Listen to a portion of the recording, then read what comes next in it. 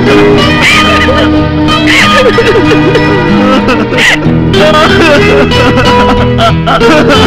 my God.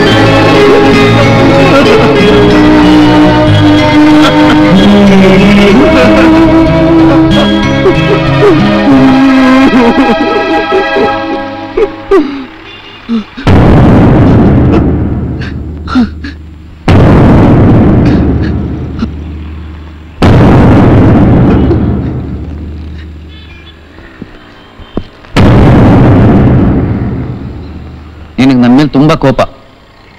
ನನಗೆ ಕೊಂದ್ಬಿಡ್ಬೇಕು ಅನ್ನೋಷ್ಟು ಆಕ್ರೋಶ. ನಿನ್ ಪೊಸಿಷನ್ ಯಾರೇ ಇದ್ರು ಅವರು ಹೀಗೆ ಫೀಲ್ ಮಾಡ್ಕೋತಿದ್ರು. ಮಿಸ್ಟರ್ ರಾಹುಲ್ ನಿಮಗೊಂದು ವಿಷಯ ಗೊತ್ತಾ?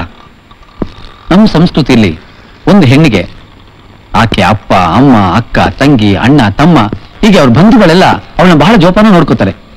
ಇಲ್ಲಿ ತನಕ ಅವಳು ಕುತ್ತಿಗೆ ತಾಳಿ ಬೀಳೋ ತನಕ, ತಾಳಿ ಬಿದ್ದ ಮರುಕ್ಷಣನೇ ಅದನ್ನೆಲ್ಲ ಹಾಗೆ ಅವಳ ಗಂಡನ್ ಟ್ರಾನ್ಸ್ಫರ್ ಮಾಡ್ಬಿಡ್ತಾರೆ. ನಾನೇನಾದ್ರೂ ನಿನ್ನ ಮಾತನ್ನ ಕೇಳಿ ಮದುವೆನ ಅರ್ಧದಲ್ಲಿ ನಿಲ್ಸ್ಬಿಟ್ಟಿದ್ರೆ ಅವಳ ಅಣ್ಣ ಸುಮ್ಮನೆ ಬಿಟ್ಬಿಡ್ತಿದ್ನ. ಅದೇ ಮದುವೆ ಮಂಟಪದಲ್ಲಿ ಯಾವ್ದಾದ್ರು ಕುರುಡನ್ನ ಕುಂಟನ್ನ ಹಿಡ್ಕೊಂಡ್ ಬಂದ್ಬಿಟ್ಟು ಅವನ ಕೈಯಿಂದ ಅವಳು ಕುತ್ತಿಗೆ ತಾಳಿ ಕಟ್ಟಿಸಿ ಶಾಸ್ತ್ರೋಕ್ತವಾಗಿ ಅವಳ ಜೀವನನ ಹಾಳು ಮಾಡ್ಬಿಡ್ತಾ ಇದ್ದ. ಅದಕ್ಕೆ ನೀನ್ ಎಷ್ಟೇ ಗೋಳಾಡಿದ್ರು ಕೂಡ ನಿನ್ ಗೋಳಗ್ ನಾನು ಕಿವಿ ಕೊಡ್ಲೇ ಇಲ್ಲ.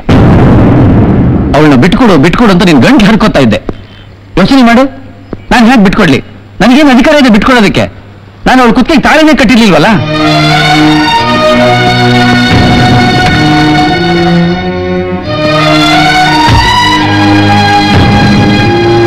ಕೇಳು ಬಿಟ್ಕೊಡು ಅಂತ.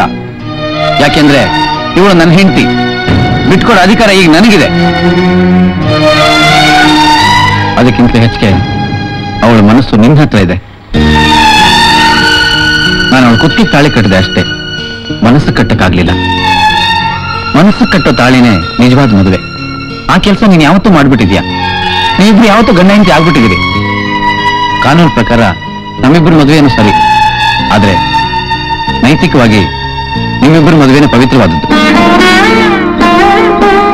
ಇಷ್ಟೆಲ್ಲ ಗೊತ್ತಿದ್ದು ನಾನು ಯಾಕೆ ಇವಳ ಮದುವೆ ಆದೆ ಅಂತ ಯೋಚನೆ ಮಾಡ್ತಾ ಇದೆಯಾ? ಇವಳ ನಿನ್ ಜೊತೆ ಸೇರಿಸೋದಕ್ಕೆ, ಜಾತಿಗಿಂತ ಪ್ರೀತಿ ದೊಡ್ಡದು ಅನ್ನೋದನ್ನ ಜಗತ್ತಿಗೆ ತೋರಿಸೋದಕ್ಕೆ. ಯಾಕೆ ಚೈತ್ರ? ನನ್ನ ಮಾತಿಂದ ನಿಮ್ಗೆ ಆಶ್ಚರ್ಯ ಆಗ್ತಿದ್ಯಾ?